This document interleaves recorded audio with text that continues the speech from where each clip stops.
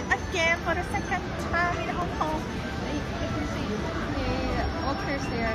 just on the top of the lift, they are busy preparing preparing for the Chinese Lunar New Year Lantern.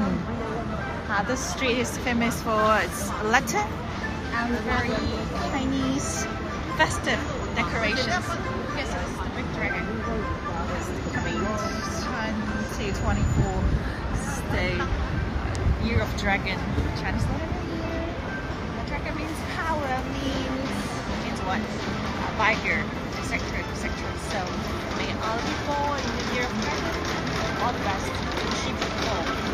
Dreams will come true. A closer look. You see the crane and the leather plum blossom. Also uh, symbolize uh, good thing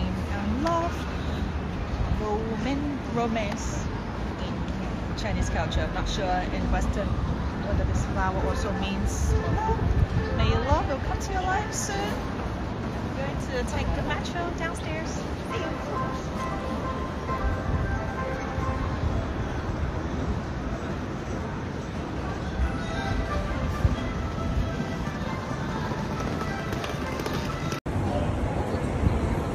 Yeah.